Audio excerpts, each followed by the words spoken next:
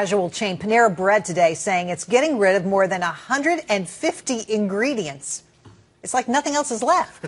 They're getting rid of mostly artificial sweeteners, colors, flavors, and preservatives. Now, Panera says it wants to serve food that's clean. But what's the real reason behind the move? With us now, Peter Shankman, marketing consultant and author of Zombie Loyalist. Peter, welcome to the show. So, good nutrition, good marketing. What do we have? I think here? a little bit of both. I mean, you know, what I find ironic is the concept of eating clean, which has gained a lot of popularity over the past several years, involves eating exactly one thing that not bread.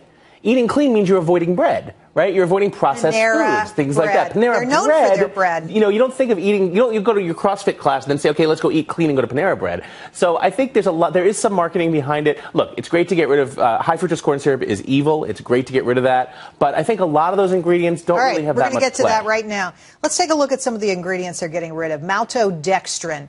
Now, this is a sugar that, that appears in beer. It's all over the darn place.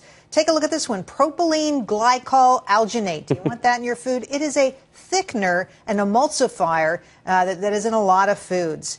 And finally, titanium dioxide. Guess what? It's a food dye. Doesn't that sound scary? I had a titanium dioxide meal the other day. It was amazing. White, it, so it makes the bread white. Uh, so they're getting rid of a lot of stuff here. And what I wonder, and the question that remains sort of unasked here, is isn't it going to taste different? Well, that's the question. The real question is what's going to happen with the taste. The issue is people who go to Panera Bread, then you know they might be healthier than say people who go to McDonald's, for instance, right? On the on the on the scale of that, but it's still very fast casual food. So it's it is processed food. You know, it does have ingredients that your grandma. My rule is if my grandmother wouldn't have recognized it as food, I won't eat it.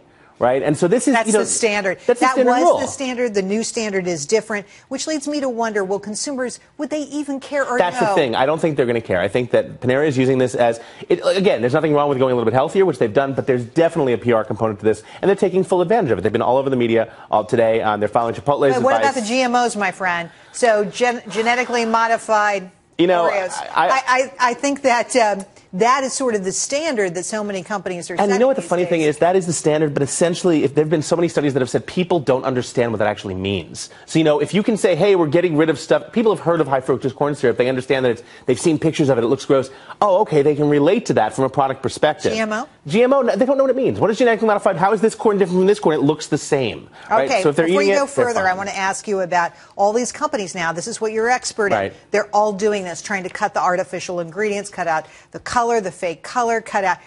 Is this going to work and is it going to continue to grow? And is it nothing but a fad that'll go away? It's the away? salad bandwagon. If you remember in the late 70s, early 80s, McDonald's came out with salads, right? And they had a phenomenal run. They had like three quarters of, of huge growth from women who's like, oh, you can go to McDonald's and eat salad. Who came on after that? Burger King, Arby's, Roy Rogers. They all started doing the same thing. This is another fad where it says, hey, we're being healthier, we're being healthier. Everyone in the world considers themselves a food blogger now, right? And they're all talking about how they know, none of them have degrees, but they're all saying how they know best. So, yes, it is a fad, and we're going to see it go next. There'll be something next, you know, the color brown or whatever it is, and people will get rid of foods that are brown or foods that are purple. And we'll see it go on and on. But That's what we do. really some underlying. There's nothing wrong with making the food healthier, and, and there isn't. But the, the key is how much healthier are you making bread? You know, let's let's focus on that. You're not turning bread, into a I'm not skinless chicken breast. Yeah, I'm not anti. I, I, I love, believe me, look at me. You don't think I hate bread. But, you know, it gets to the point where it's not a chicken breast. It's not a skinless chicken breast. So at some point, you just have to say, you know what? I'm going to go have a sandwich, and so be it. So be it. I'm with you, Peter. Thanks for coming on the show tonight. Appreciate it.